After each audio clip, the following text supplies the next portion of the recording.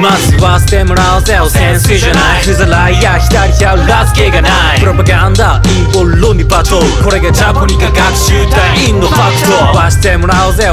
ぜ汚染水じゃない。ふざらいや消費するあいえいえ。国際機関にする噛みつくあんただけね。おキャビンおシリアス福島原発処理水海洋放出大丈夫かって気持ちわかるよ。そこに住んでる人ならなおのこと。当然不安はつきまとう。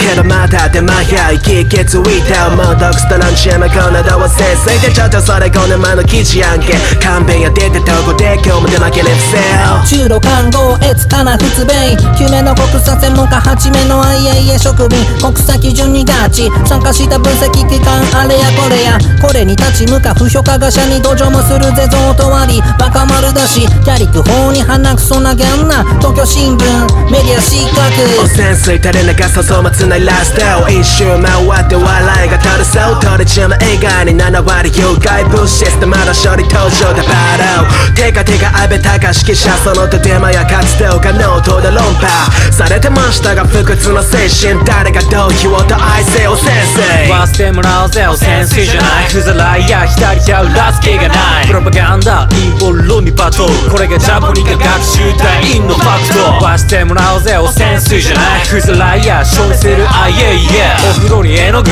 落として解説これが海洋放出です。アホで草ロドとの言う通りに拉致などない露骨北朝鮮より政策で支持失った没落やとシャーミン自己破釈保端が諸とかもありましたな。あいえいえ争う常識外れはシリアイラ来たぐらい。ナイス皮肉ユン大統領イエイエ次は秋田小町 R 長尺狙いの12議席。トリチウム以外の学習も含まれてる。都電の報告にもちゃんと記されてる。国家機関の調査信用できない。セクニのごまかしにお前ら洗脳されてる。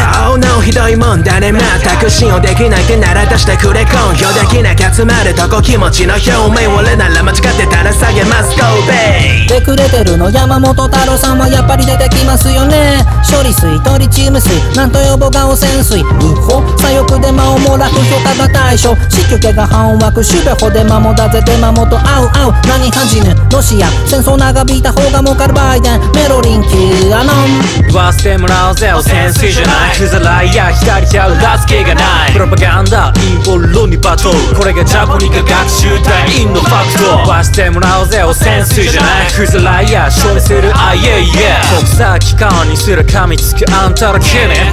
おキャビンおシリアス